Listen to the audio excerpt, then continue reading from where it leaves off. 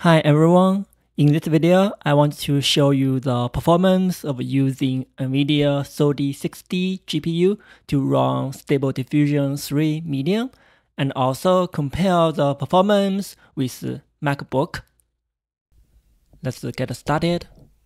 For the installation, please refer to my previous video on MacBook installation for Comfy UI. It's very similar. Basically, you just need to grab the latest code and download the model and provide a prompt to get it started. Okay, let's uh,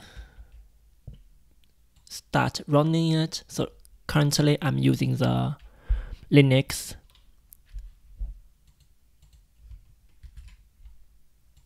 activate uh, Python environment.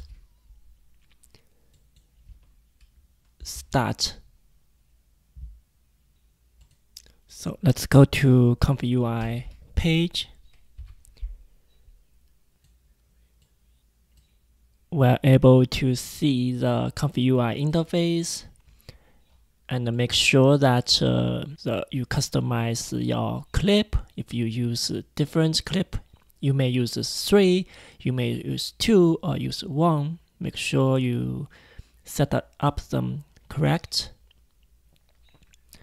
And uh, currently I'm using the SD3 medium safe tensor model for prompt. Looking good, and then I will queue the prompt to get started. Left, I open the uh, monitoring for my 3060 GPU, which has 12 gigabytes.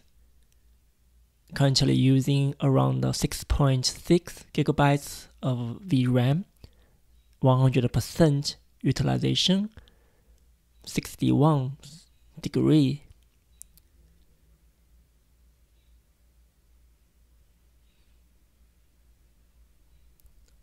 Okay, the results quite good. It's very sharp. It also have some good light. Looks like a good uh, photograph. Let's uh, do another one. Baby cat. Control Enter is the shortcut for the button.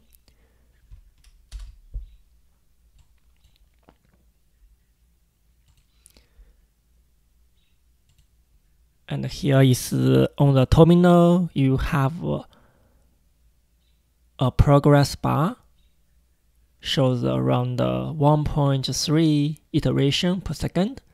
Took about uh, 22 seconds for one image. This is uh, the NVIDIA GPU utilization. I think 6 gigabytes of VRAM will be sufficient for the medium model. Okay, let's look at the results. Compare the 3060 to the MacBook. I would say 3060 is the obvious winner and win by a very big margin. We also needed to consider the cost of the two systems for the NVIDIA, you can get it around the 600 total. But for MacBook, you will need at least around 2000 US dollars to get it. I think that's very, very surprising. Let me know what you think. Thank you very much. Please subscribe to my channel.